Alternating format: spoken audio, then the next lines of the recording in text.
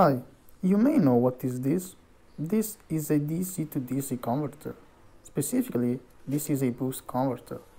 That means you can plug a voltage in and you can get a higher voltage out. Now this converter is fine, except for one thing. We can only select the output voltage with a variable resistor. But what if we want other ways to control it? Well, let me present to you this I2C controllable buck boost converter. Now some of you may not know what I2C is and let's keep it really simple. It's just a communication protocol that all MCUs in the entire planet have. So this means we can control this buck boost converter with an Arduino, ESP32, STM32 or any other MCU you have in your mind. And I'm gonna show you how this works in a moment. Just please, if you want to support me, remember to leave a like and subscribe. Okay, I have the board here and then I have a breadboard with an Arduino Pro Micro that will communicate with the DC-DC converter. As you can see I have 9 volts at the output and 9 volts at the input. And now if I click on the 12 volt push button, I bet something interesting will happen. And yeah, of course, a precise 12 volts output. And I can also add one volt step so 13 volt 14 volt and 15 volt. Now we can also add 100 millivolt as you can see or we can be even more precise adding 10 millivolt but not only we can step up the voltage we can also step down the voltage as you remember, we have 9 volts at the input and now we have 3.3 volts at the output. And as before, we can play a little with the voltage. Now I add 10 millivolts, so we get a precise 3.3 volt, or we can add 100 millivolt or 1 volt, and so on.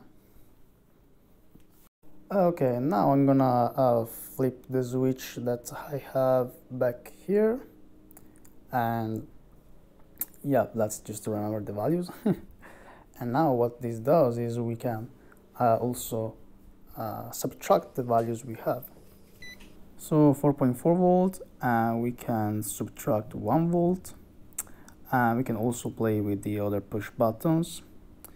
And well that's it and we can also obviously go back to 12 volt and so on I've also done a quick load test and these are the results for 3.3 volt, 5 volt, 9 volt, 12 volt and 24 volt input. Although don't take those too seriously.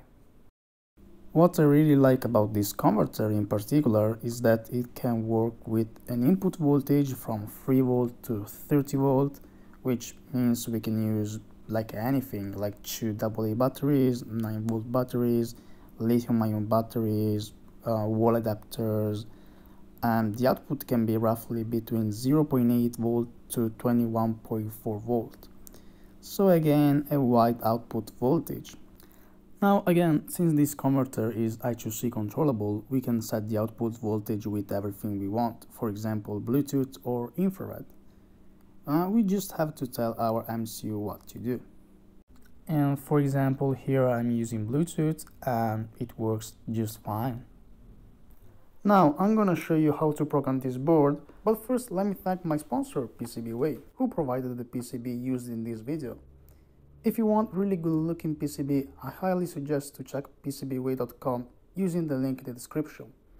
They can also assemble PCBs for you or offer 3D printing and CNC machining with tons of material to choose with just check PCBWay.com, link in the description. The first thing we have to do, since the converter works with I2C, is to include the I2C library. Then I have here three variables that for now we can forget. And then we have the I2C address of our converter and the various registers addresses.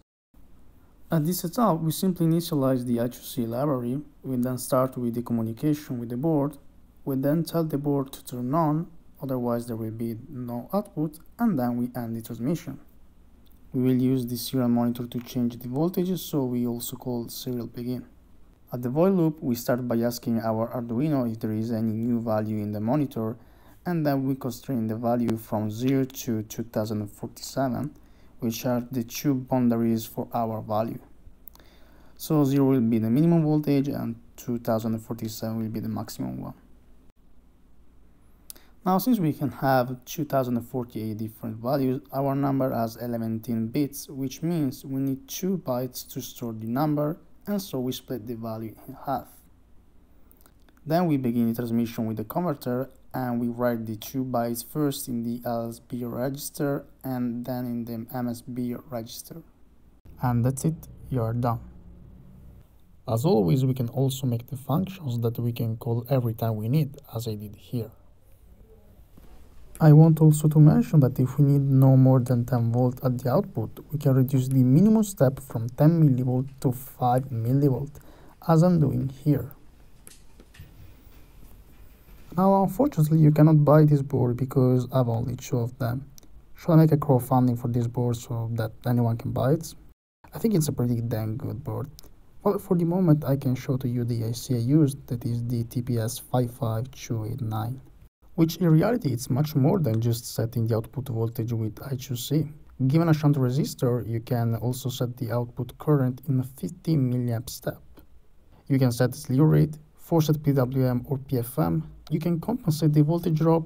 It's really an amazing IC in my opinion. And if you want some help building your DC-DC converter, you can always use the Webench tool from Texas Instrument, which is an amazing tool that I use every time I need to work with their DC converter. As last, I want to remind you that this is not the only way we can digitally control a DC-DC converter.